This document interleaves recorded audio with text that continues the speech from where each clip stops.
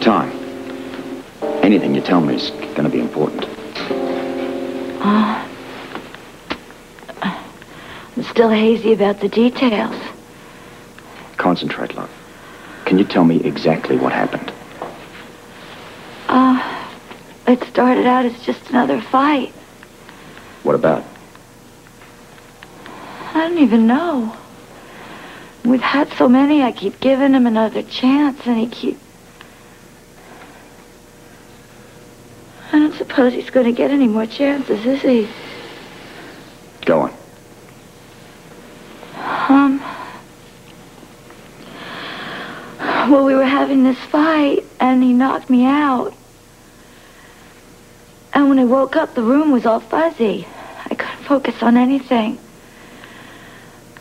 And the first thing that I saw was the gun. Where was it? It was, it was over there on the floor.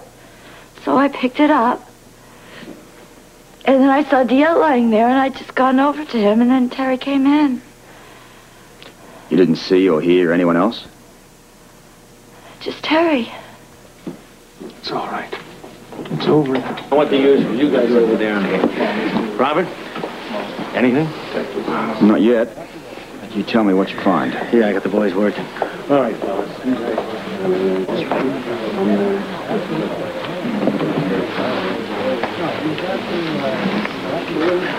How's she doing? She's doing better. She's suffering from mild shock. The sight of her father's body really unnerved her. Sure. Uh, can I ask her a few questions? You can, but go easy with her. She's really shaky, Robert.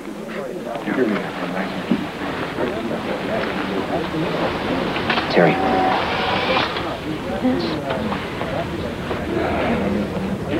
I'm sorry about your father. I know this isn't a great time to be having a chat, but I've got to talk to you. Can you tell me what happened here tonight? I'll try.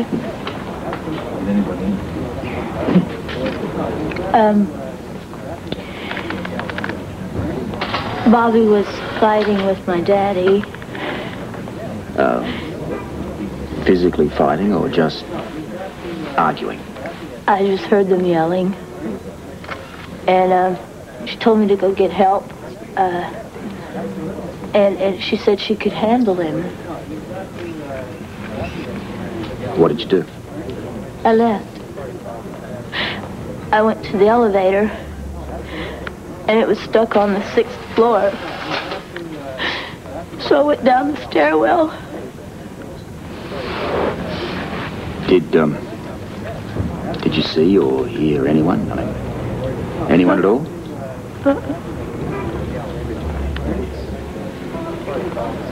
Well, what happened after you got downstairs? Okay. I didn't know. I couldn't. I, I couldn't get out. I, Um, okay, okay. What do you mean you couldn't get out? well, I was trapped in the stairwell, and um, all the doors were locked. And uh, I went all the way down to the lobby, and and I was banging on the door, and nobody heard me, and they wouldn't come help me. So I just came back upstairs. Then what happened? Well, I, I came to to the door and and called out for Bob and Daddy, and I didn't get an answer. Did you hear, um, anything? I mean, voices rustling? No, it was it was quiet. It was quiet, so I decided to go around to the back. And when and when I and when I came in, I saw Bobbie kneeling over Daddy with a gun, and I couldn't stop. And he was Can't ask any more questions now, Robert. She's really going to have to rest. Okay. I couldn't do Okay, it. okay, okay. And Okay, okay, okay.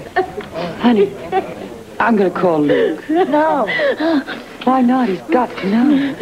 because he can't do anything, Ruby. So why worry you? No, I, I, I don't think we should call him. Hmm. That girl.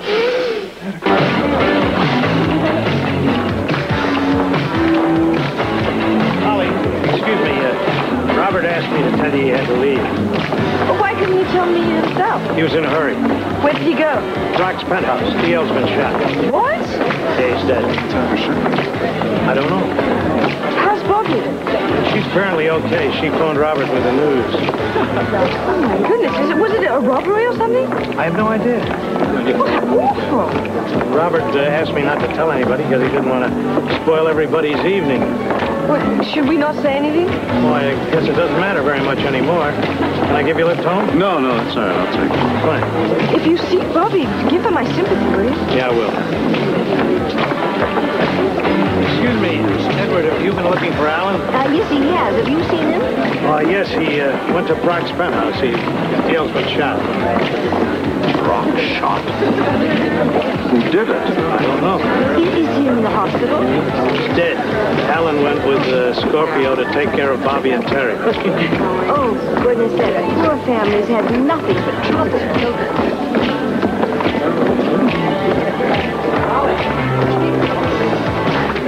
Yes, something awful happened. D.L. Brock's been shot and killed. It's just awful. Hey, what? I don't know anything more than that. That's all we know. No, Robert's at now. Yeah, we have to go. Yeah, fine.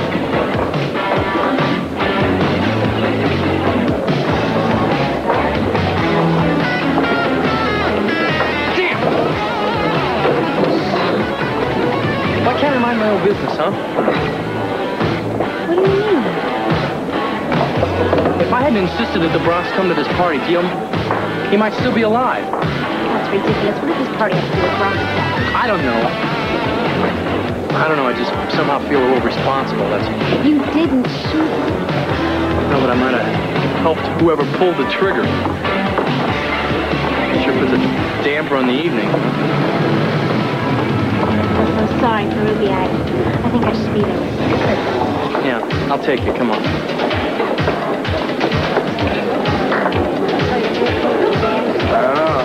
Obvious Brock was having his problems earlier in the evening. To be shot.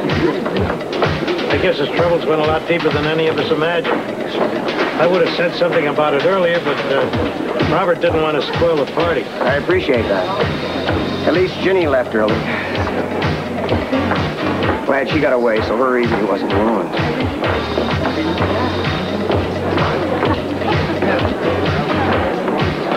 I want you in bed right now. We'll see you tomorrow morning, Mike. You had quite a night. We all did. Good one. Let me take your coat. No. What's wrong, Ginny? Um, I feel kind of grimy in this stained dress. I'm gonna, I'm gonna go upstairs and change. Okay, get into something a little more comfortable. I'll get a bottle of champagne. We'll pop the cork tonight for celebrating.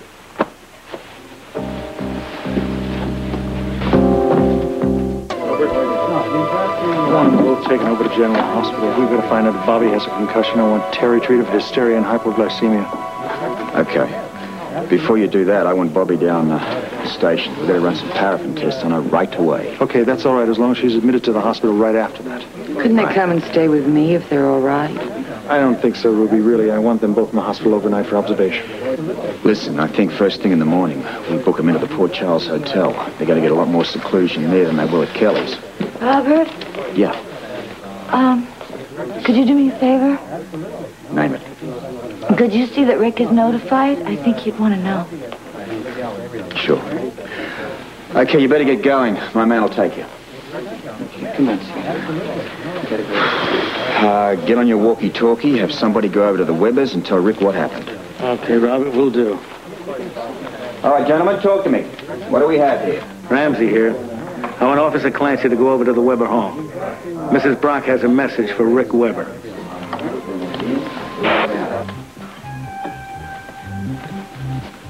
I was just getting ready to come for you. Here. Thank you. Cheers. Ginny, that's uh, champagne, and you should just sip it very slowly. Not tonight, Rick. Why are you so jumpy? Uh, well, the excitement. How about some more of this? Sure, sure. Coming right up.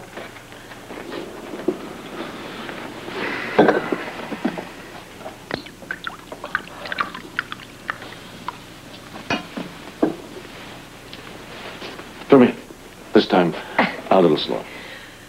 A lot slower.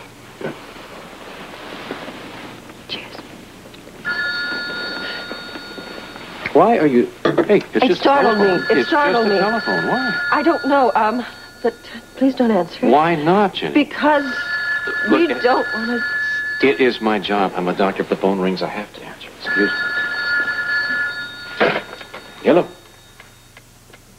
Yeah, she's right here. Hold on. You. Who is it? Boogeyman. No.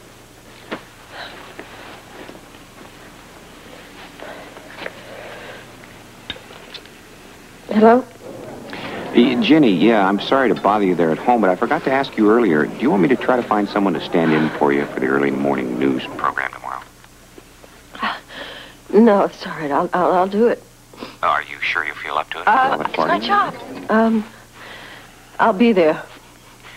Okay, don't say I didn't ask. I'll see you in the morning. Thank you.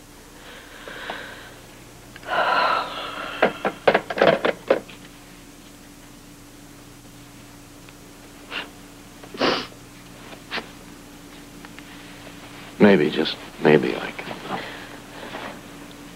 loosen you up a bit.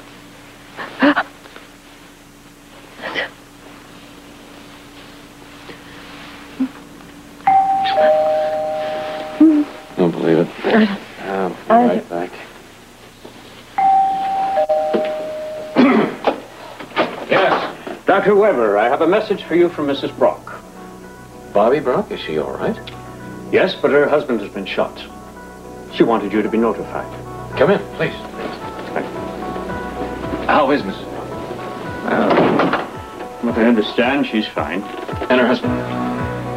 Mr. Brock is dead. I'm sorry, sir.